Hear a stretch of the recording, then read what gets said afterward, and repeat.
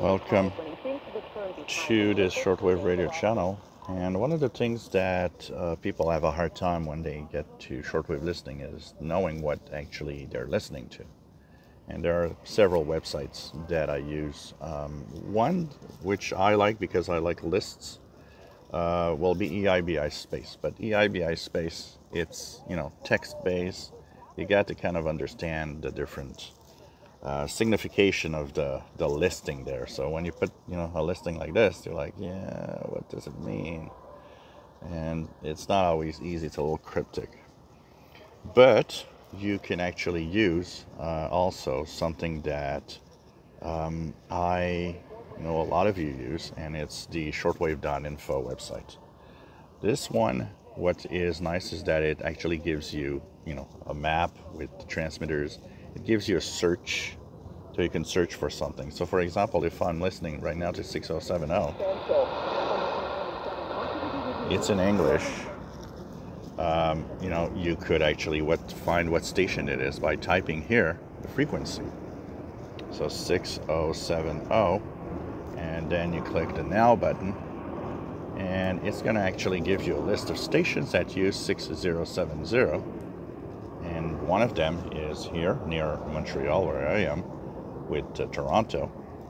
And you'll see that you'll have some stations. And notice that there's a red color for the ones that are in our time zone. That means the ones you see here are possibly the ones that could be possible. There's three of them in red. The rest is not in red because they're not in our time.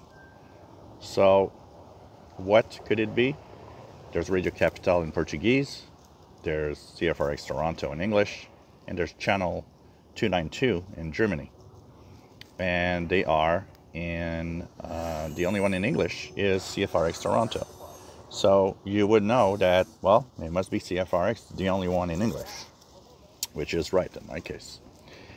Uh, that's where language is very important if you can identify a language, and you know, identifying doesn't mean you have to understand it.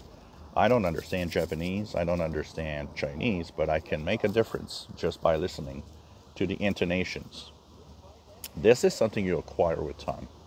As time goes by, you'll actually learn to make a difference between Portuguese, between Spanish, uh, between Chinese and Korean and uh, Japanese there are slight differences that actually, at you know, when time goes by, you're like, yeah, okay, no, that's not this language. It must be this language. It is important to know that because the language will help you a lot in cases where there are more than one station on the frequency at the same time. In this case, knowing that it's English, it pretty much tells me that's the one. Uh, but there were three possibilities. And that happens often. The other thing also is to look at where they're transmitting, where you are.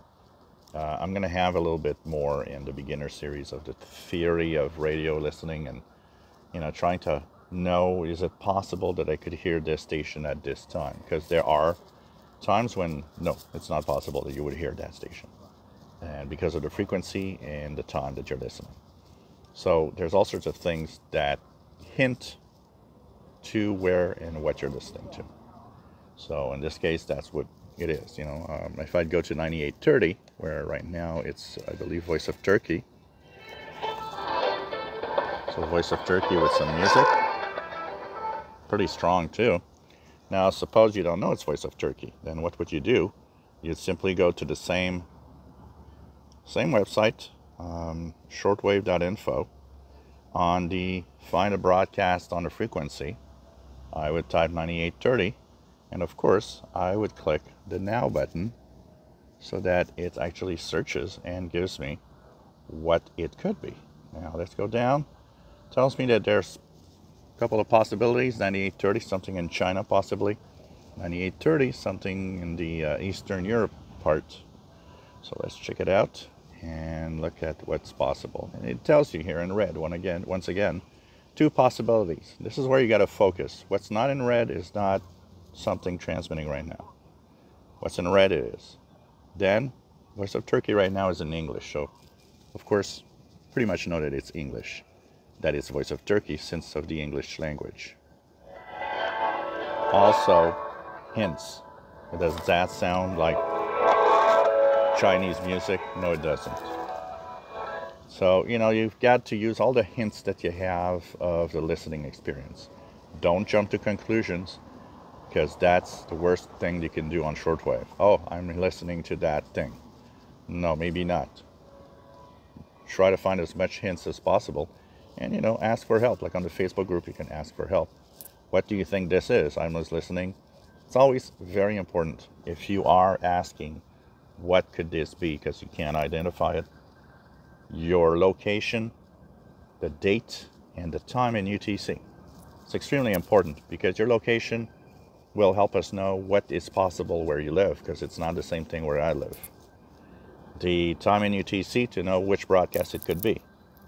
And of course, the date is could be useful in some cases also because of the different stations that broadcast in um, sometimes only on specific days on specific languages.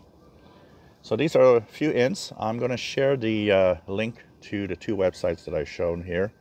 Uh, EIBI Space, which is lists, uh, which is in time. So if you go to EIBI Space, you have two lists here. So when you enter the website, you have the left side, which is the uh, frequencies by time. So you can look at the broadcast by time and try to learn. So, you know, it's, it's a question of learning it, how it works. So for example, here, 0 to 0, 1 on Friday, CNR1 Jammer Firedrake, M Mandarin, F for the Far East, and the frequency. But these are abbreviations you'll learn over time. And of course, you have the list.